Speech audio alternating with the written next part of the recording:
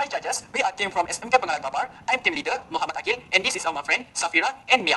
The reason why we joined these YIC competitions because we want to introduce our AI project that help improve our community safety. In line with this year theme, AI for social good. Let's move to our problem statement. Menjadikan kalau saya di 16 Desember 2004, kejadian tsunami dahsyat menghantam Aceh Negara 6 masih hilang. We believe that after the video, you already understand what we are trying to deliver. The absence of an early disaster detection system threatens lives and causes severe losses. According to the World Meteorology Organization, early warning can reduce up to 30% of disaster impact, including trees to leaf and property loss. Therefore, there is an urgent for a faster, affordable, and accessible early warning system for communities.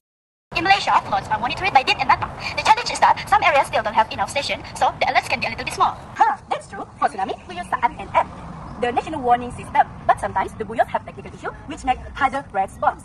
And landside, JMG is in charge. The system works, but the coverage is limited and the siren is reached near nearby place. As for earthquakes, JMG records them well, but the weakness is that the early warning isn't possible.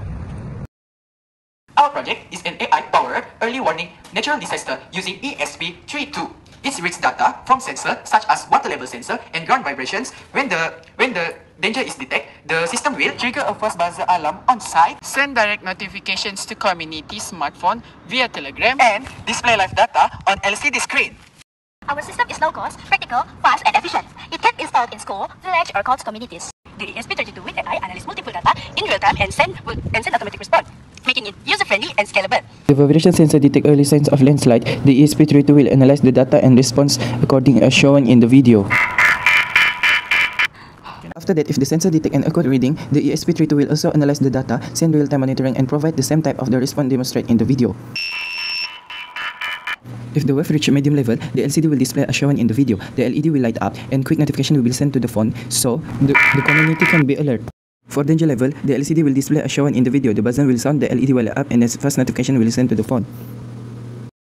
If the drainage level is at a moderate level, the LED will turn on and the quick notification will send to the community to mobile phone, so they can be alert. If the drainage level reach a danger level that causes flood, the LCD will display as shown in the video, the buzzer and LED will both active and urgent notification will send to the community.